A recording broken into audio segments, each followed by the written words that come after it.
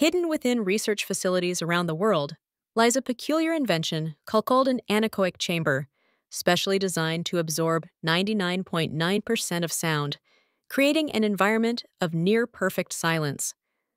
These chambers, whose name literally means without echo, can reach an astounding 20 decibels, so quiet you can hear your own blood flowing and lungs expanding.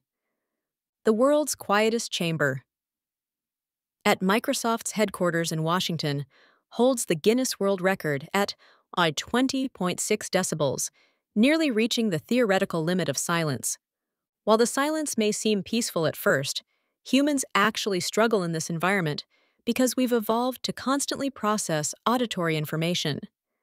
After just 30 minutes in complete silence, your brain, desperate for sensory input, begins to create its own, leading to auditory hallucinations as it tries to fill the void. Scientists explain that this occurs because our brains aren't designed to process the absence of sound. They're constantly seeking patterns and meaning, even when there's nothing to interpret. Visitors to these chambers report hearing their heartbeats thunder in their ears, the sound of their lungs like rustling paper, and eventually phantom sounds like distant music or voices calling their name.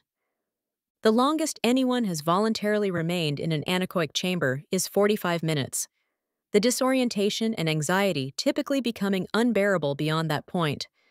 These chambers were originally built to test equipment sensitivity and acoustic properties, but they've inadvertently become perfect laboratories for studying how silence affects human psychology.